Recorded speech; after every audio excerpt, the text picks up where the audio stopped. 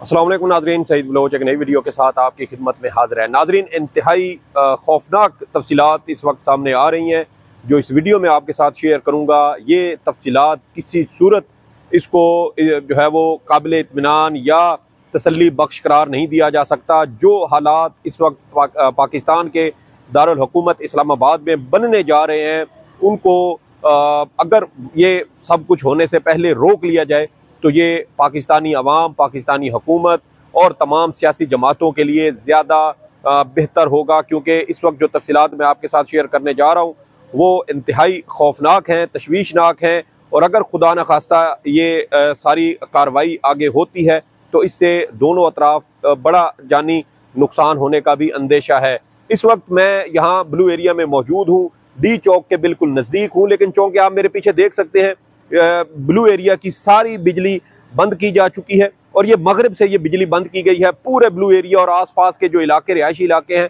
وہاں پر بھی بجلی بند کی جا چکی ہے۔ اور بجلی بند کرنے کے بعد اب جو تازہ ترین اطلاعات ہیں وہ یہ ہیں کہ وفاقی حکومت مختلف سیکیورٹی فورسز کے ذریعے آج رات ایک بڑا آپریشن کرنے جا رہی ہے۔ نقوی سرکار جو مسلسل پاکستان تحریک انصاف کے مظاہرین کو ان کے احتجاج میں شامل شرکا کو دھمکیاں دے رہی تھی، ڈرا دھمکا رہی تھی، سنگین نتائج کی دھمکیاں دی گئیں براہ راست فائرنگ کرنے کی دھمکیاں دی گئی اور پھر فائرنگ کی بھی گئی۔ آج بھی جب مظاہرین چائنا چوک اور ڈی چوک پہنچے تھے تو ان کے اوپر مسلسل جو ہے وہ ربڑ کی بلٹس فائر کی جا رہی تھی ہم نے دن کو جو ویڈیو کی تھی اس میں ہم نے آپ کو رپورٹ کیا تھا کہ حالات و واقعات کیا بن رہے ہیں اور کس طریقے سے یہ معاملات آگے بڑھ رہے ہیں۔ حکومت کی جانب سے کسی قسم کی کوئی نرمی یا کوئی جو سیاسی اور جمہوری اس میں رویہ ہوتا ہے، وہ اختیار ہوتا نظر نہیں آ رہا اور نہ ہی حکومت کی جانب سے وہ جمہوری سیاسی رویہ اختیار کیا جا رہا ہے، بلکہ پاکستان تحریک انصاف کے کارکنان کو، ان کے احتجاج میں شامل شرکا کو شر پسندوں اور دہشت گردوں کی طرح ٹریٹ کرنے کی تیاریاں کی جا رہی ہیں۔ جیسے میں نے کہا کہ میرے پیچھے یہ بلو ایریا کے وہ پلازے ہیں جہاں آپ لائٹس آف دیکھ رہے ہیں اور یہ آف لائٹس حکومت کی جانب سے اقدام کیا گیا اور ذرائع اب یہ کہہ رہے ہیں کہ وفاقی حکومت آج رات پاکستان تحریک انصاف کے احتجاج میں شامل شرکا کے خلاف ایک بڑا کریک ڈاؤن کرنے والی ہے۔ اسی حوالے سے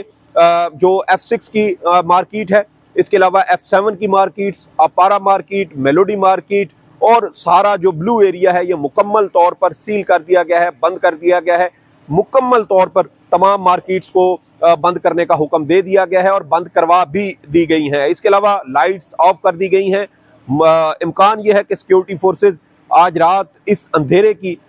آڑ میں ایک بڑا آپریشن جو ہے وہ کر سکتی ہیں اور پاکستان تحریک انصاف کے وہ شرکا یا وہ کارکنان یا وہ مظاہرین جو ڈی چوک تک پہنچے تھے یا دوبارہ پہنچنے کی کوشش کریں گے ان کے ساتھ انتہائی سختی کے ساتھ نمٹنے کی کوشش کی جا رہی ہے۔ گزشتہ روز بھی آپ کو یاد ہوگا، رات محسن نقوی صاحب کی جانب سے ایک پریس کانفرنس کی گئی۔ اس پریس کانفرنس میں انہوں نے عوام کو، پاکستان تحریک انصاف کو سنگین نتائج کی دھمکیاں دی اور پھر ان دھمکیوں کے نتیجے میں ہم نے دیکھا کہ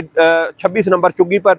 یہ اطلاعات سامنے آئی پاکستان تحریک انصاف کی جانب سے یہ دعویٰ کیا گیا کہ وہاں مظاہرین پر، پرامن مظاہرین پر سیدھی گولیاں چلائی گئی ہیں۔ جس وقت یہ ویڈیو میں ریکارڈ کر رہا ہوں، اس سے تھوڑی دیر پہلے بھی بلو ایریا کے اندر مظاہرین پر سیدھی گولیاں برسائی گئی ہیں۔ گولیوں کے خول مظاہرین کی جانب سے میڈیا کے سامنے سوشل میڈیا پر شیئر کیے گئے ہیں۔ اس کے علاوہ مظاہرین کی جانب سے کچھ سنائپرز کو بھی پکڑا گیا ہے اور ان سے سنائپر گنز بھی چھینی گئی ہیں جو سنائپر مختلف عمارتوں پر چڑھ کر مظاہرین کو ٹارگٹ کرنے کی کوشش کر رہے تھے۔ ان کے ٹانگوں میں ربر بلٹس ماری جا رہی تھی، جس کی وجہ سے جو دن کو ہم رپورٹ کر رہا تھا میں چائنا چوک سے، میں نے اس وقت اس ویڈیو میں بھی آپ کو بتایا تھا کہ تقریباً کوئی چھ سے سات ایسے زخمی میری آنکھوں کے سامنے موٹر سائیکلوں پر پاکستان تحریک انصاف کے کارکنان کی جانب سے ہسپتالوں کی طرف لے جائے گئے، جن کو ٹانگوں میں ربڑ کی گولیاں ماری گئی تھیں اور وہ شدید زخمی تھے۔ ان کی ٹانگوں سے جسم سے خون رس رہا تھا۔ تو یہ حالات ہیں۔ اس وقت پاکستان کی سیاست کے اندر پاکستان تحریک انصاف کی قیادت اس وقت بھی اپنے کارکنان کو پرامن رہنے کی تلقین کر رہی ہے۔ بیرسٹر گوہر خان کی جانب سے ٹویٹ کیا گیا۔ علی امین گنڈاپور کی جانب سے بار بار کنٹینر سے کہا گیا کہ ہم پرامن رہنا چاہتے ہیں، حکومت کسی قسم کی شر پسندی نہ کرے۔ بچرا بی بی کی جانب سے بھی اسی حوالے سے پیغام دیا گیا کہ ہمارے کارکنان پرامن رہے کسی قسم کے اشتعال انگیز کاروائی کا رد عمل اس طرح نہ دے جس طرح شاید حکومت چاہتی ہے۔ لیکن حکومت شاید اس سارے معاملے میں کوئی خون گرانا چاہتی ہے۔ دونوں فریقین کو انتہائی تحمل کے ساتھ مل بیٹھ کر یہ معاملہ حل کرنا چاہیے۔ سیاسی جماعتیں مذاکرات کے ذریعے بیٹھ کر معاملات کو حل کرتی ہیں۔ حکومت کو بھی چاہیے کہ وہ اپنی مخالف سیاسی جماعت پاکستان تحریک انصاف کے ساتھ مذاکرات کی طرف ان کو لے کر آئے۔ ان کے جو تحفظات ہیں ان کو دور کرنے کی کوشش کرنی چاہیے۔ انتہائی احتیاط کے ساتھ انتہائی قدم پھونک پھونک کر رکھنے چاہیے تاکہ یہ جو موجودہ سیاسی صورتحال ہے اس میں کسی قسم کا کوئی بگاڑ پیدا نہ ہو۔ ایک چھوٹی سی غلطی، ایک چھوٹی سی چنگاری، ایک بہت بڑی آگ کا سبب بن سکتی ہے۔ اس سے پہلے بھی ہم نے مختلف سے ایسے مواقع پر دیکھا کہ غلط اقدام کی وجہ سے بہت سارے مسائل پیدا ہوتے ہیں۔ تو یہاں حکومت کی ذمہ داری بہت زیادہ بنتی ہے کہ وہ اس حوالے سے جو صورتحال ہے اس کو کنٹرول کرنے کی کوشش کرے۔ جو اطلاعات ہیں وہ یہ ہیں کہ حکومت افغان شہریوں کی آڑ میں پاکستان تحریک انصاف کے خلاف ایک بڑا کریک ڈاؤن آج رات کر سکتی ہے اور اس میں الزام یہ لگایا جا سکتا ہے ممکنہ طور پہ کہ حکومت افغان شہری جو پاکستان تحریک انصاف کے اس احتجاج میں شریک ہیں، احتجاجی شرکا کے طور پر انہوں نے کسی قسم کی کوئی شرپسندی کی ہے اور ان افغان نیشنل نیشنلز کو پکڑنے کے لیے حکومت یہ سارا آپریشن کر رہی ہے۔ اس سے پہلے آپ دیکھ چکے ہیں کہ حکومت کی جانب سے اکتوبر کے مہینے میں بھی ایک پولیس اہلکار کے شہید ہونے کی غلط خبر چلائی گئی اور اس کا الزام پاکستان تحریک انصاف پر لگایا گیا۔ پاکستان تحریک انصاف کے اسلام آباد کے جو صدر ہیں عامر مغل، ان کے خلاف اس پولیس اہلکار کے قتل کا مقدمہ درج کیا گیا۔ پھر گزشتہ روز غالباً میاں والی کے نزدیک ایک پولیس اہلکار تھے، مبشر بلال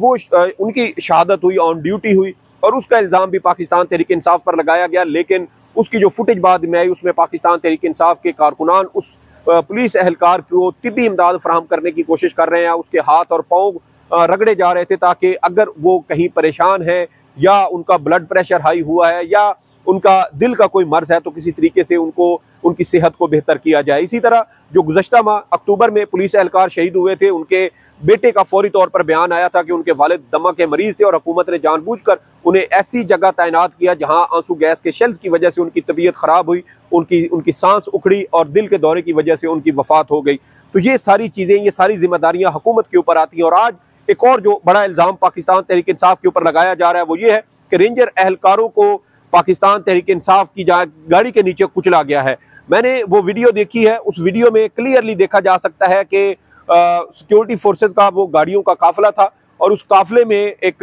گاڑی کا جمپ لگا اور اس جمپ لگنے کی وجہ سے ایک اہلکار نیچے گرا اور پیچھے سے آنے والی جو پولیس کی اور سیکیورٹی فورسز کی ہی گاڑیاں تھیں، وہ گاڑیاں اس اہلکار کے اوپر سے گزر گئیں۔ وہاں موجود لوگوں کی جانب سے فوٹیج بنائی جا رہی تھی اور اس فوٹیج میں بھی دیکھا جا سکتا ہے کہ لوگ مدد کے لیے بھاگے ہیں۔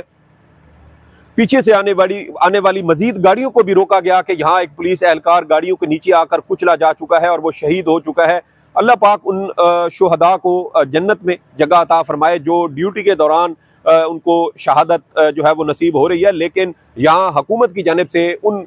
شہید ہونے والے اہلکاروں کا الزام پاکستان تحریک انصاف پر لگانا اور اشتعال پیدا کرنا اور اس اشتعال کی بنیاد پر بڑے آپریشن کی تیاری کرنا، یقیناً اس کو خوش آئند قرار نہیں دیا جا سکتا۔ پاکستانی حکومت کو اس کے علاوہ پاکستان تحریک انصاف کو مل بیٹھ کر یہ معاملات حل کرنے چاہیے۔ اور جب تک یہ معاملات حل نہیں ہوتے، یہ ساری چیزیں ہمیں درست سمت میں آگے بڑھتی ہوئی نظر نہیں آتی یہاں سب سے زیادہ ذمہ داری ہم اپنی متعدد ویڈیوز میں یہ کہہ چکے ہیں کہ حکومت پر عائد ہوتی ہے، حکومت نے یہ معاملات کنٹرول کرنے ہیں، حکومت نے ان معاملات کو سیاسی طریقے سے ان کے ساتھ نمٹنا ہے، لیکن اگر حکومت طاقت کا استعمال کرتی ہے اور طاقت کے استعمال سے جانی نقصان کا اندیشہ پیدا ہو سکتا ہے، جو کہ اس وقت ظاہر کیا جا رہا ہے۔ اور اسی حوالے سے یہ ویڈیو آپ کے ساتھ شیئر کر رہا ہوں کہ پاکستان تحریک انصاف کے کارکنان کو کے خلاف ایک بڑے آپریشن لانچ کرنے کی تیاری کی جا رہی ہے۔ لائٹس اس وقت پورے بلو ایریا میں، اسلام آباد کے سیکٹرز جو بلو ایریا کے دائیں بائیں موجود ہیں، وہاں بجلی مکمل طور پر بند کی جا چکی ہے اور اس اندھیرے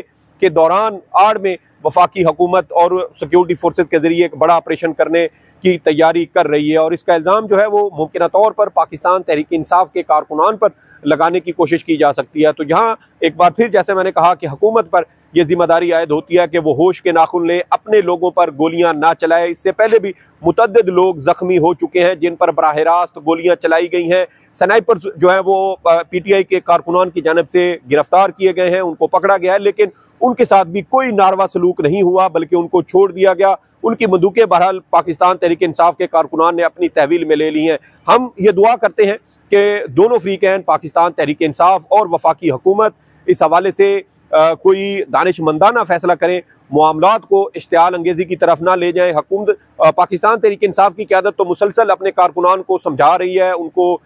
پرامن رہنے کی تلقین کر رہی ہے۔ دوسری جانب وفاقی حکومت مسلسل شاید طاقت کے زوم میں اپنی حدود سے باہر نکل رہی ہے، اپنے طاقت کے اختیار کو استعمال کرنا چاہتی ہے، جس سے جانی نقصان ہونے کا اندیشہ ہے۔ ہم یہاں فیلڈ میں موجود ہیں بر وقت آپ کو رپورٹ کرتے رہیں گے۔ اور